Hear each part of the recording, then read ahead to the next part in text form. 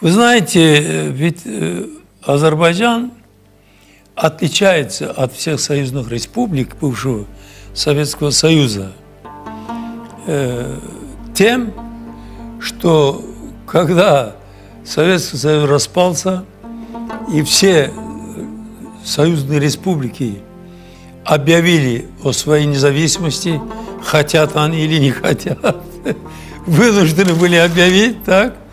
Вот, хотя здесь в Азербайджане э, у народа настроение независимости было очень высокое, так? Но тогда Азербайджан находился в состоянии военного конфликта с Арменией уже с 1988 года. Кстати, это тоже э, фактор, не единственный, между прочим, который и привел к распаду Советского Союза. Но конфликт э, начался в связи с территориальными претензиями Армении к Азербайджану в 1988 году в начале.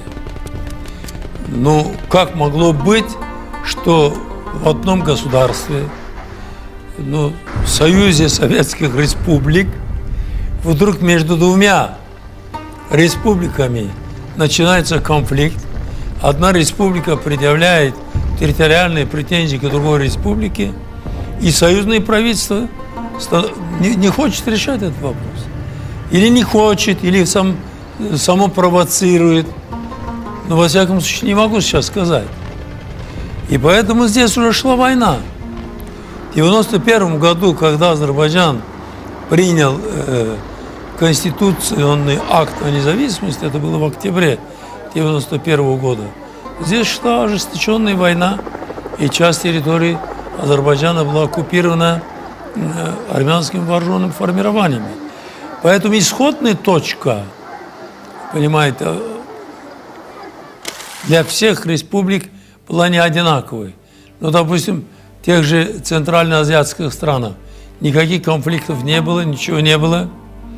Но и, значит, просто они были республикой Советского Союза, потом стали независимой.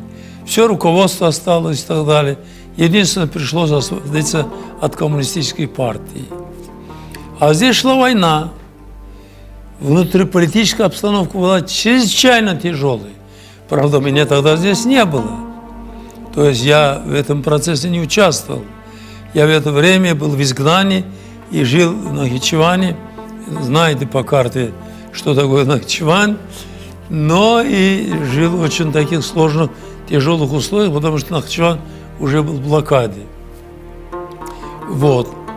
Э, поэтому я э, этот период, ну, сам, поскольку не руководил республикой, не могу полностью сказать, но вместе с тем я э, был не на Луне, я видел, что происходит. Поэтому Азербайджан, конечно, э, народ, будучи чрезвычайно недовольным политикой советского руководства, первый по поводу конфликта между Арменией и Азербайджаном, имея в виду, что советское руководство могло значит, предотвратить конфликт, но оно не сделало. Более того, оно оказалось больше на стороне Армении, чем Азербайджана. Второе – январские события, которые нанесли колоссальный моральный ущерб республике.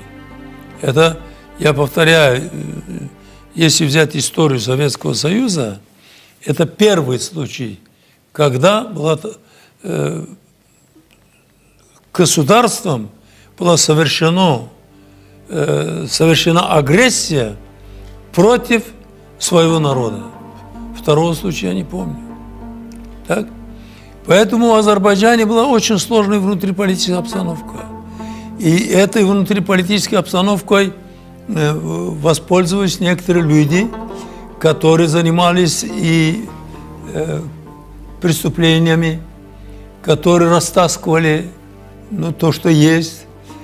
И вот здесь самая беда нашей республики оказалась в том, что появилось очень много сил, которые хотели овладеть властью. То есть происходила борьба за власть между различными силами, и каждый из этих группировок имела свои вооруженные отряды. Они были созданы якобы для значит, защиты своих земель от армянской агрессии.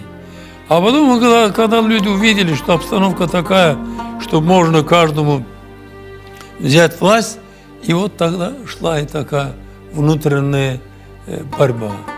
И поэтому это очень осложнило обстановку в Азербайджане. Но тем не менее, при этой ситуации в Азербайджане я считаю, что э, с чувством большого одобрения, ну, основная часть населения, конечно, приняла то, что Азербайджан приобрел независимость.